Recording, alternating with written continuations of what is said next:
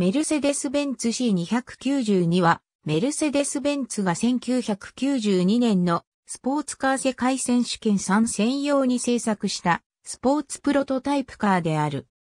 ザウバー・メルセデスが1991年にスウィックで使用していたメルセデス・ベンツ C291 の進化モデルでカーボン製のモノコック M291 エンジン、サイドラジエーターなど基本構成を C291 から引き継いでいる。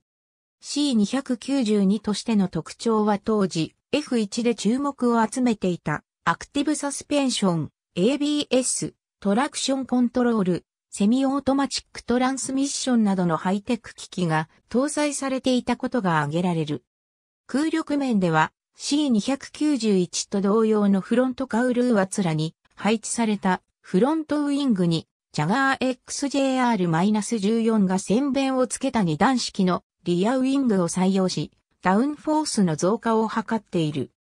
C292 は蒸気のようにハイテクを積極的に採用した意欲的なマシンであったが、メルセデス・ベンツが1991年度をもってスウィックから撤退したため C292 はレースに出場しなかった。スポーツ、カーレーシングボリューム13スポーツカーレーシンググループ2003年ありがとうございます。